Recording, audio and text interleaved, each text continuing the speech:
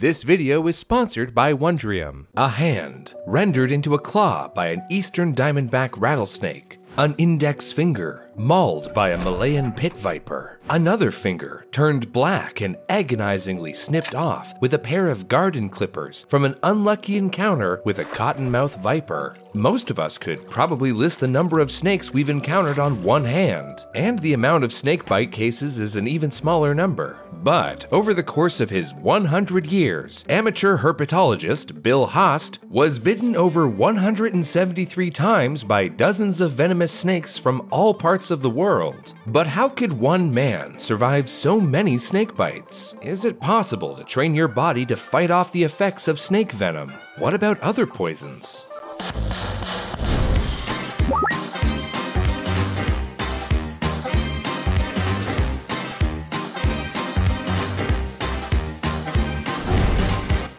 Please do not try anything you see in this video at home. Ingesting unknown substances and handling snakes is extremely dangerous and can lead to death. And with that out of the way, let's get into it. A low rattle in the darkness surrounds you. The rustling of leaves harmonize with the sounds of the night. Was that something moving in the underbrush? Or is it just the imagination conjuring up monsters in the dark? The rattle returns, and there's a sharp nip at your ankle, followed by a throbbing pain. You look down, and to your horror, a rattlesnake coils away, leaving only a lethal injection of its venom. You're immediately lightheaded. Your face and fingers have lost all feeling. You retch, nothing comes out. You wipe away the sweat on your forehead and look down at your hands. They're out of focus. Your vision is blurring. Time is ticking. If you don't get to the hospital soon, these symptoms will only worsen with time. In just two days, you might find yourself on the wrong side of the threshold between life and death.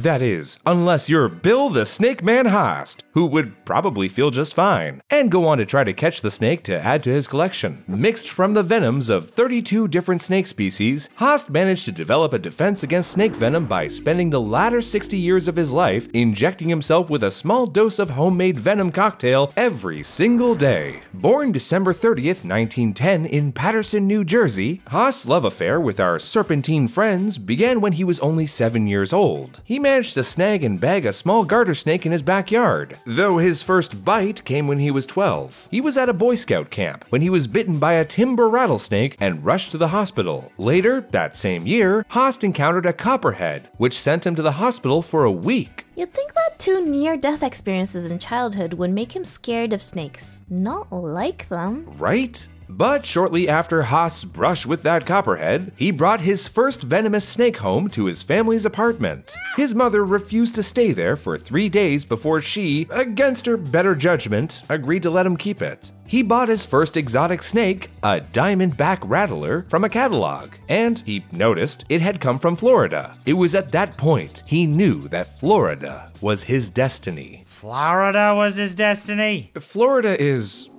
fine. Yeah, if you never leave Magic Kingdom. Well, there's alligators there too. Oh, you're right, there's no saving them. Haast dropped out of school after he turned 16 to join a roadside snake show that traveled through Florida in the late 1920s. However, the business flopped shortly after the onset of the Great Depression. By 1947, Haast's lifelong dream of opening his Miami Serpentarium came into fruition. He would entertain guests by deftly snatching up snakes by the backs of their heads, forcing their teeth to sink into soft plastic to show how venom is extracted. The Serpentarium was primarily a roadside attraction, but it also served as a dual-purpose snake lab. All of the venom he extracted, not just from his performances but from his work out of the limelight, went toward developing antivenoms. Just a gram of freeze-dried venom needing at least 100 extractions could cost upwards of $5,000. Freeze-dried samples are necessary for the production of antivenoms, so Haast made a lot of his money selling his supply to medical practitioners. Haast developed a snake serum in 1980 alongside a Miami doctor, which they used to treat over 6,000 people, and even made the wild claim that it could help with multiple sclerosis and arthritis. Although the FDA eventually did ban the serum's use, he irrefutably saved lives by donating his own blood, rich in antibodies to snake venom, to 21 different snakebite victims across the globe. Venezuela even made him an honorary citizen after he traveled deep into the South American jungle to deliver a young boy a pint of his life-saving antibody-rich blood. Though even his ability to drink snake venom like it's a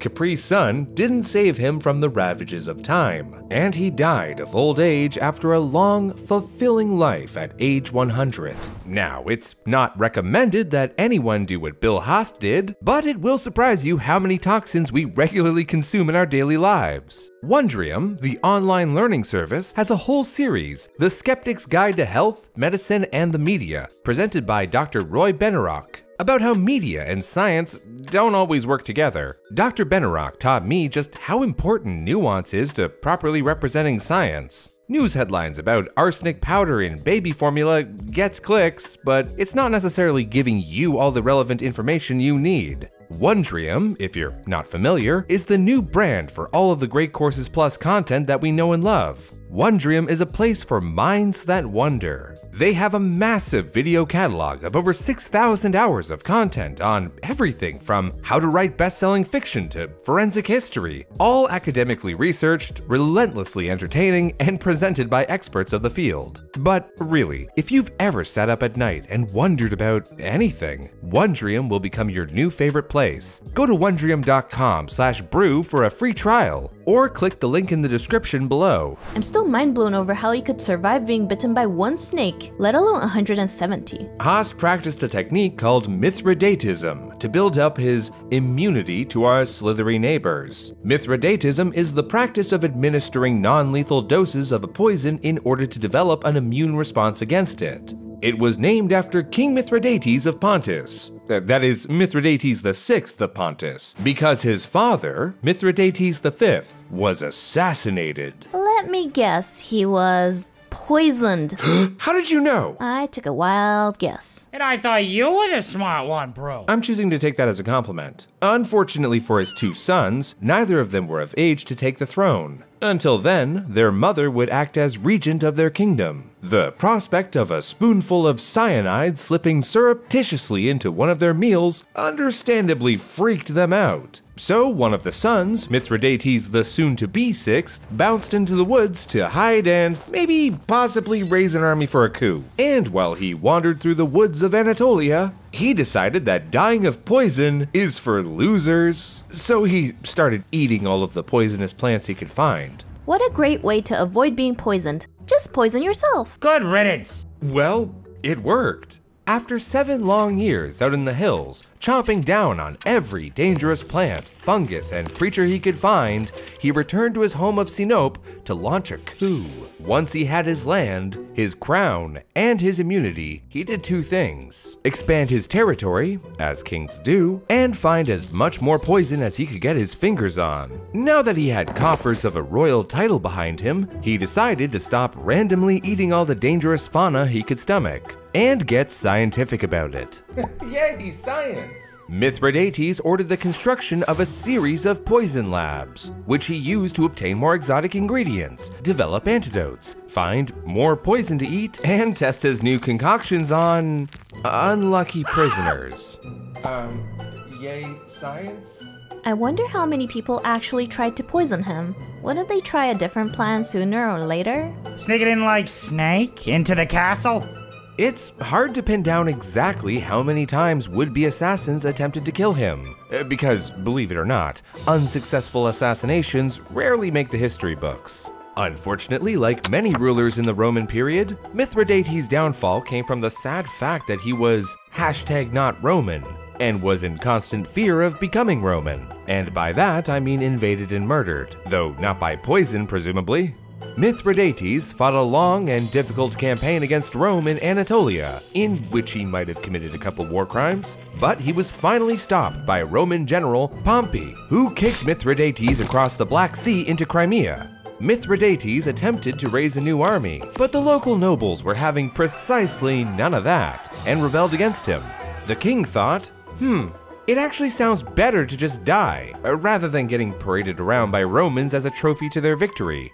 So he pulled out the vial of poison he kept at his side next to his sword to finish what the Romans started. Except it didn't work because he had spent the latter 40 years of his life building up an immunity. With no more options at his disposal, Mithridates asked his bodyguard and friend, Bituitus, to just do him a favor and stab him real good.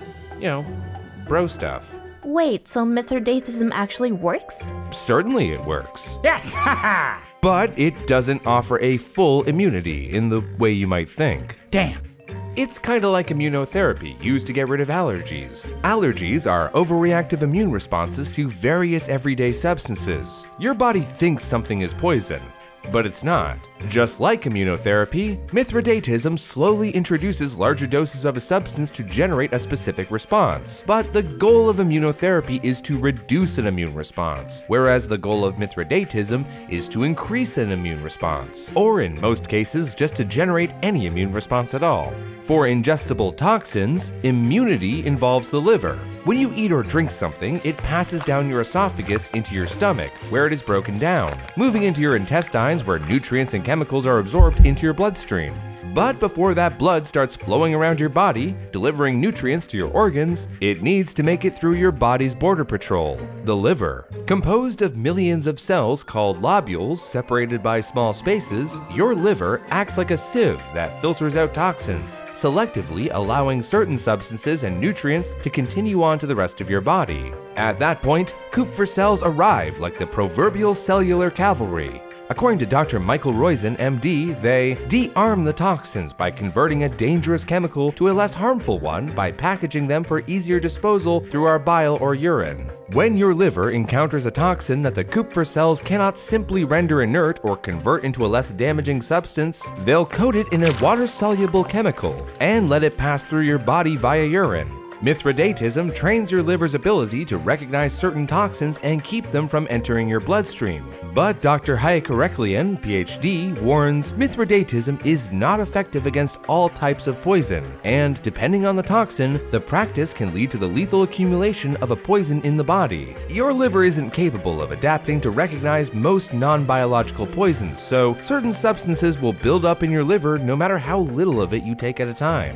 So by consuming small, non-lethal amounts of a poison, you can train your body to more efficiently target those poisons in your liver, therefore reducing the impact of larger doses? Yes, but as Areklian said, depending on the rate that one consumes a toxin, your liver will not be able to remove it as fast as it builds up. While it can learn how to catch the bad stuff and keep it from going into your bloodstream, it won't be able to remove it as quickly as you add more poison. Oh, well, it's not really an immunity then. It's more like a, a tolerance. Just like me and ye. Tolerance is the perfect word for it. No matter how much of a substance you consume, you cannot become completely immune to its effects. Just like when your liver builds up alcohol tolerance, if you continue increasing your intake, you'll eventually reach a point where your liver can no longer handle any toxins, aka alcohol poisoning. Well, unless I have to survive eating tree frogs in the Amazon rainforest, I can't think of many situations where I would need to be immune to poison. Challenge accepted.